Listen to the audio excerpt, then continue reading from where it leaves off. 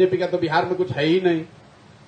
BJP की तो हालत ये है कि बीजेपी की कमान बिहार में ऐसे व्यक्ति के पास है, जिनके बाबूजी पहले लालू जी के मंत्री थे, फिर वो नीतीश जी के मंत्री हुए, फिर वो मांझी जी में मंत्री हुए। अब आजकल उनके बेटा बीजेपी का उद्धार करने निकले हैं। जरा देखिए, यही तो हालात है।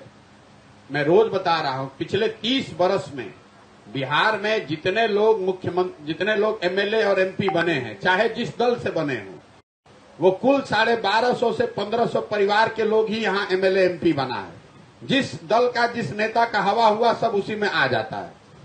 बीजेपी जैसे दल में भी उनको भी कोई नया आदमी नहीं मिला।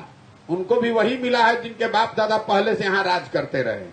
तो उनके बाबूजी के पास कौन सा ऐसा ज्ञान था जो पंद्रह साल में उन्होंने नहीं किया, जब उनके बेटे अब आकर कर देंगे?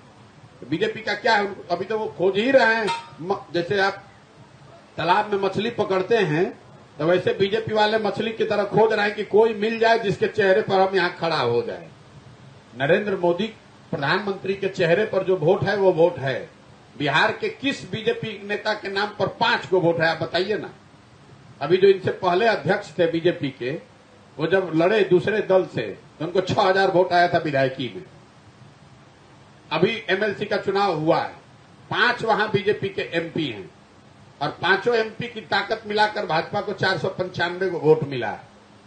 ये तो मोदी जी के चेहरा पर, हिंदुत्व के नाम पर, राम मंदिर के नाम पर, हिंदू मुसलमान करके जो वोट लेते देखिए बिहार